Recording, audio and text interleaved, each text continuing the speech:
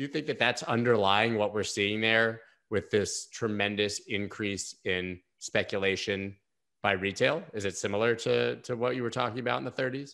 I think that yeah, that's a big factor. Uh, I do think that the, basically the growth of the money supply kind of encourages this sort of activity, even if they're not aware, even if they can't tell you how much the M2 money supply, uh, they feel it. They, they feel the price is going up. They they're getting the stimulus checks.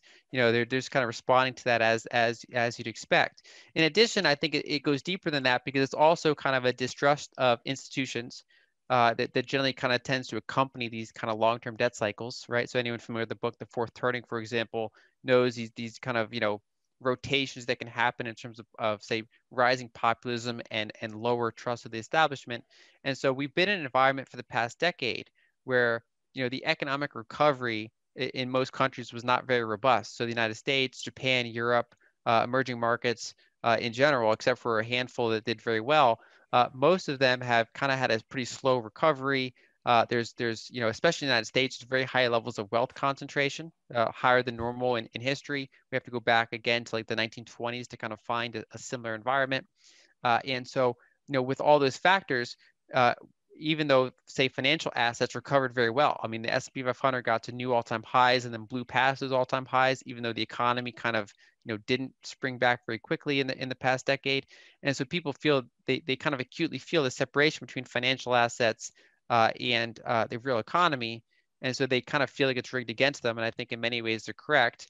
Uh, and so there's kind of that natural tendency of of hey, you know, you know, like Wall Street bets, like we can go and, and stick it to the hedge funds we can go and, and kind of, you know, uh, do similar things that they're doing. And so I think that's kind of naturally playing out. You have that kind of uh, kind of anger towards the establishment, as well as that kind of general sense that that currency was devalued this past year, and that you know, it, in some ways, it makes sense to kind of go into assets rather than just hold that cash.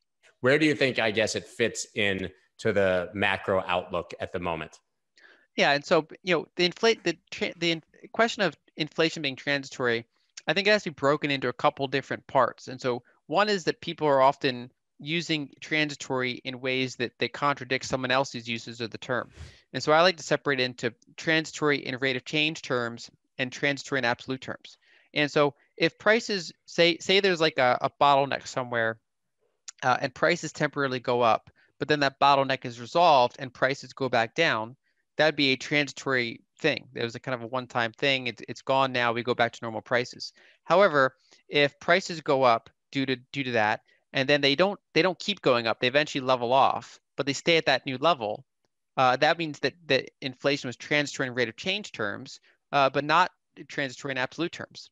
Right. And so so generally in history, when we see these these large increases in the broad money supply, uh, and so for example, for people you know back in 2008, people talked about you know the risk of hyperinflation because of QE, uh, but mostly that that was increasing base money that was staying in the banking system, is not getting out into the broad money supply.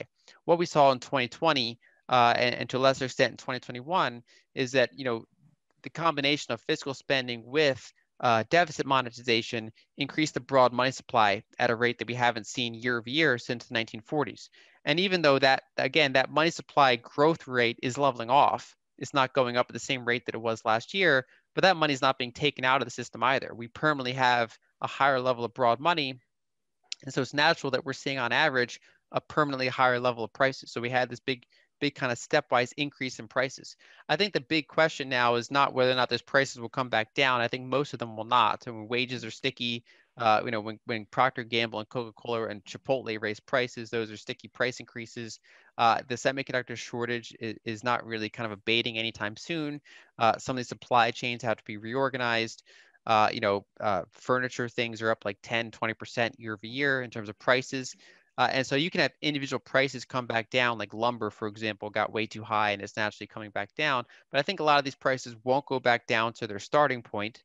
and so I think the bigger question is, is you know, will this will this rate of change continue? And I think that the the rate of change of inflation is cooling off now. So I think you know we had this kind of a lot of the fiscal stimulus is behind us, right? So people are not getting more stimulus checks. Uh, they're not, you know, they're still getting some some just say child tax uh, mm-hmm. uh, credits. Uh, you know, the Congress is still working on an infrastructure bill, for example, but that's kind of a slower rollout of that money. It's not like an adrenaline of, of getting a stimulus check uh, into the market. And so I think that that rate of change is probably slowing down, uh, but that I think longer term, the inflation rate will probably still be above interest rates you can get on bank cash or sovereign bonds like treasuries. Uh, and so there's, you know, that it's a high enough inflation rate to, to basically still be a devaluation effect on your currency over time.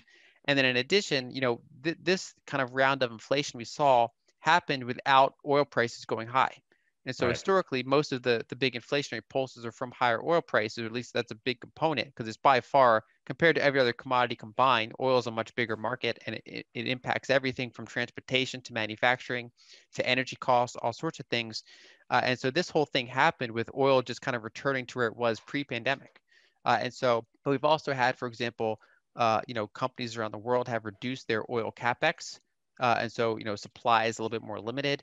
And so going forward, as these emerging markets, for example, which are now the biggest sources of oil demand, as they come out of these lockdowns, as they come out of the pandemics, as their oil demand kind of trajectory comes back online, I think we could see kind of persistently higher oil prices in the years ahead. It'll have ups and downs, but I think that, you know, we've, we've been in this kind of 13 year oil bear market depending on where you measure it from, like 2008, mm-hmm. uh, especially the past five, six years, ever since you know 2015, we've been in this oil bear market, uh, and I think that you know, say the next five years, next 10 years, could be a lot more positive for that market than than this past period, and that would be a generally more pro-inflationary environment, uh, especially at, when you compare it to how low yields are on on bank accounts and and treasuries, and so basically.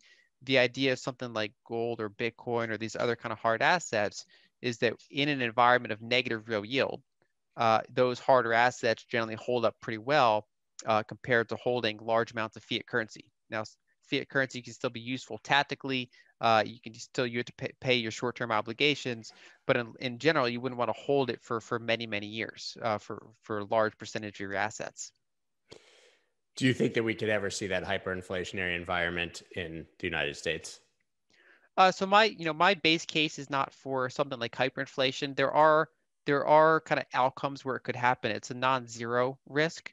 Uh, so the, generally for hyperinflation to happen, you need a couple variables. So we see it often in emerging markets. It's, it's exceedingly rare in developed markets, uh, and that's for a couple of reasons. One is, you know, uh, there is a large a large amount of debt out there, and that debt kind of represents demand for that currency because you know when you have dollar-based debts, the only thing that can extinguish that debt is a dollar, and so there's there's debt in in the United States. There's also uh, at least uh, 12 trillion dollars of foreign debt uh, that is based in dollars, let alone all the debt they have in their own currencies.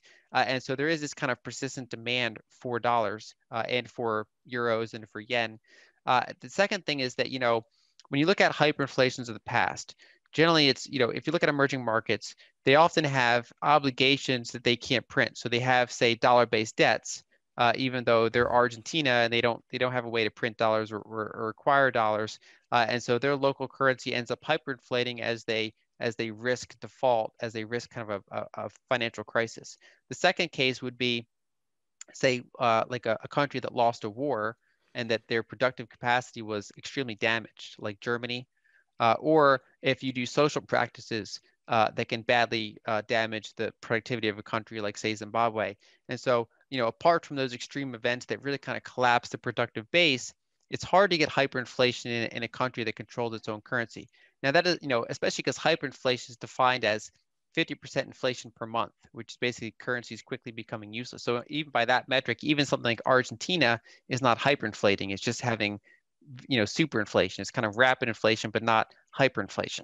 Uh, and so the united states if you look back in history the highest inflation we reached was about 20% year over year uh, which is obviously quite problematic but it's nowhere near right. 50, 50% a month. And so I, I can envision environments that are that are say pretty high inflation uh, but you'd have to you'd have to do something structurally pretty problematic in order to get hyperinflation in one of these developed countries. You'd have to destroy the productive base enough uh, that, that that that currency becomes rather worthless.